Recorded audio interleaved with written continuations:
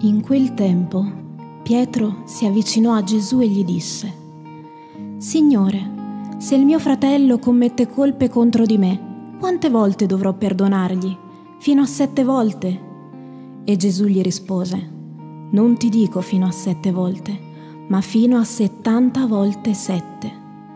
Per questo il regno dei cieli è simile a un re che volle regolare i conti con i suoi servi aveva cominciato a regolare i conti quando gli fu presentato un tale che gli doveva diecimila talenti. Poiché costui non era in grado di restituire, il padrone ordinò che fosse venduto lui con la moglie, i figli e quanto possedeva, e così saldasse il debito. Allora il servo, prostrato a terra, lo supplicò dicendo, Abbi pazienza con me e ti restituirò ogni cosa. Il padrone ebbe compassione di quel servo, lo lasciò andare e gli condonò il debito. Appena uscito, quel servo trovò uno dei suoi compagni che gli doveva cento denari. Lo prese per il collo e lo soffocava dicendo, restituisci quello che devi. Il suo compagno, prostrato a terra, lo pregava dicendo, abbi pazienza con me e ti restituirò. Ma egli non volle Andò e lo fece gettare in prigione fino a che non avesse pagato il debito.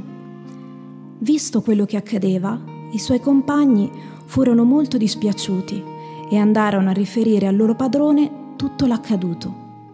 Allora il padrone fece chiamare quell'uomo e gli disse, Servo malvagio, io ti ho condonato tutto quel debito perché tu mi hai pregato. Non dovevi anche tu aver pietà del tuo compagno, così come io ho avuto pietà di te? Sdegnato il padrone lo diede in mano agli aguzzini, finché non avesse restituito tutto il dovuto. Così anche il Padre mio celeste farà con voi, se non perdonerete di cuore ciascuno al proprio fratello. Terminati questi discorsi, Gesù lasciò la Galilea e andò nella regione della Giudea, al di là del Giordano.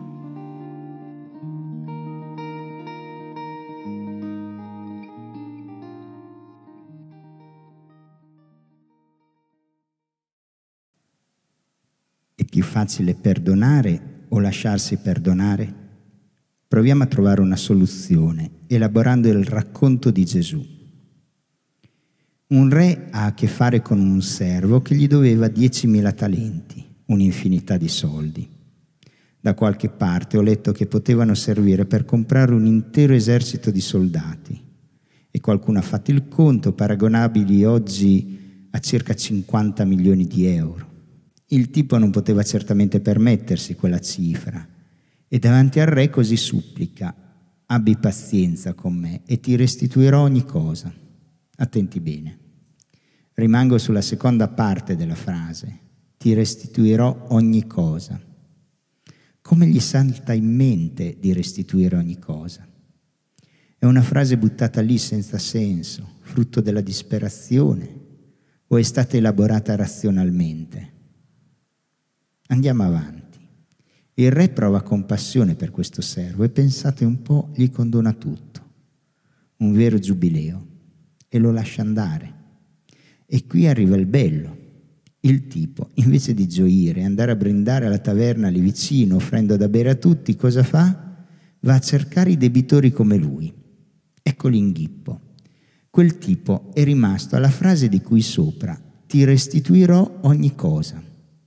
Davvero nel suo delirio ha fatto i suoi freddi calcoli matematici e ha deciso di restituire il debito. Ma è un atto di orgoglio voler fare i conti nelle tasche di Dio.